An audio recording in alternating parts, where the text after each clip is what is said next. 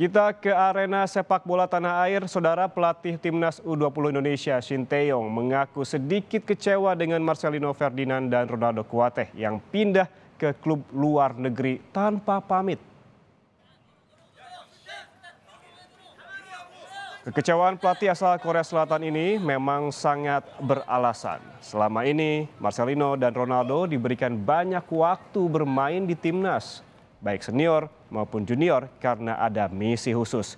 Keduanya menjadi andalan pelatih 52 tahun ini di lini depan timnas U20 untuk Piala Dunia U20 2023. Sinteyong juga mengatakan bahwa sebenarnya Marcelino Ferdinand apabila bisa menahan diri hingga Piala Dunia U20, pemain 18 tahun itu bisa mendapatkan tim yang lebih baik.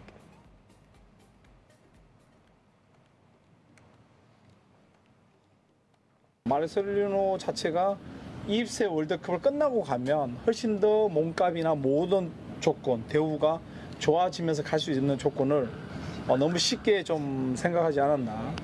어, 그런 부분을 좀 더좀 대표팀 감독과 클럽 팀과 모든 걸좀 상의해서 어, 그런 부분을 어, 20세 월드컵 끝나고 어, 네덜 아, 유럽이 리그가 새로 시- 진행될 때 갔으면 지금보다 지금 조건 나는 하나도 모르지만 훨씬 더 좋은 조건에 어, 훨씬 더 좋은 팀에 어, 갈 수 있는 부분을 어, 놓쳤다고 난 생각하기 때문에 많이 아쉽다 이런 부분에 대해서는 좀 어, 서로가 좀 상의를 해서 어, 이런 부분을 만들어 갔으면 좋은데 그런 부분을 일체 얘기 없이 그냥 가서 나 또한 지금 상당히 당황스럽고 좀 안타깝다 이렇게 보면 되겠다.